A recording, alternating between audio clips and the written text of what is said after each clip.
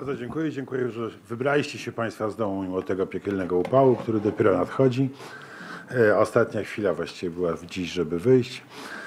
E, Obrady będą miały bardzo prostą konstrukcję. Najpierw pan profesor e, Merkel wprowadzi nas w temat. To będzie trwało od 20 do 30 e, minut, nie więcej niż 30.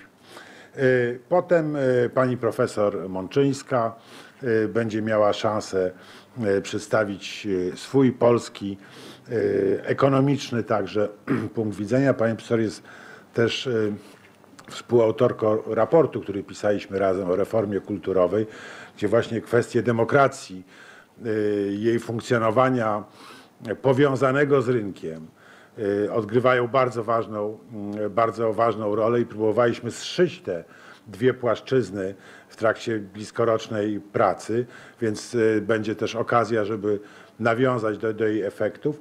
No i potem y, przewidujemy krótką rozmowę panelistów. Y, Tu Państwo widzicie już przygotowany plac i zaprosimy Państwa do udziału, do udziału w dyskusji, bo sprawa jest otwarta jak mało jaka. Mało który temat jest tak otwarty, y, tak daleki od rozwiązania, jak, jak właśnie ten. Nie przedłużam, proszę pana profesora o wystąpienie. Pan profesor Merkel.